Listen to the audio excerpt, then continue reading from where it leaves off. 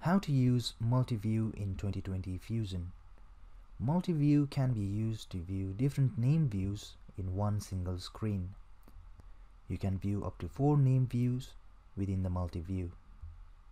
To use multi-view, go to the View tab and click on Multi-View. Click on the Multi-View drop-down menu and set the required views accordingly.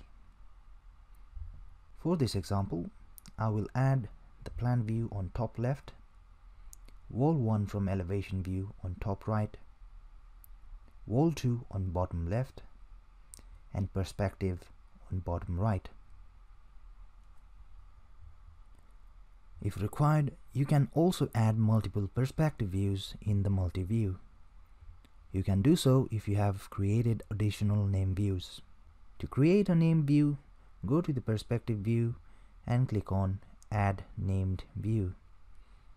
If required, you can modify the viewing position and settings. You can now use the created name view in multi-view.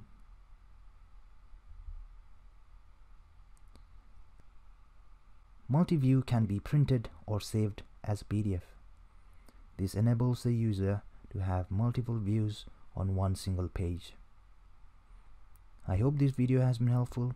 Thank you for watching.